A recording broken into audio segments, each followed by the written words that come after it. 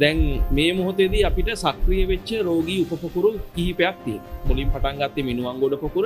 ඊට පස්සේ කොළඹ ඩොක්්‍යයාඩා ඇතනය ආසිත පිගාවට මතුගම් ප්‍රදේශය අගලවත්ත ප්‍රදේශය පොකුරු නිර්මාණය වුණා. පුලියා පිටිය ප්‍රදේශය පොකුරන් නිර්මාණය වුණා. කහතුළුව ප්‍රදේශය දැන් යම් අවදානව මතු වෙලා තියෙනවා. මේ විදිහට රෝගී උපපොකුරු ගණනාවම නිර්මාණය වෙමින් තියෙන වඩා භයානක වෙන්නේ කෑලියගොඩ පොකුර වගේ පොකුරක් හදිසියම විහිවුණොත් එහෙම ඉතාම අපහසු තත්වයකට මුළු රටම පත්වෙනවා සෞඛ්‍ය පද්ධතිය ආරක්ෂකාංශය ඇතුළුව එනිසා ජාතික වගකීමක් තියෙනවා ඒ පොකුරු නිර්මාණය වෙන තැනට වැඩ කටයුතු නොකිරීම වගේම අර පොකුරු අවසන් කිරීම සඳහා අවශ්‍ය කරන උපරිම ක්‍රියාමාර්ගවලට යන්න. breaking.lk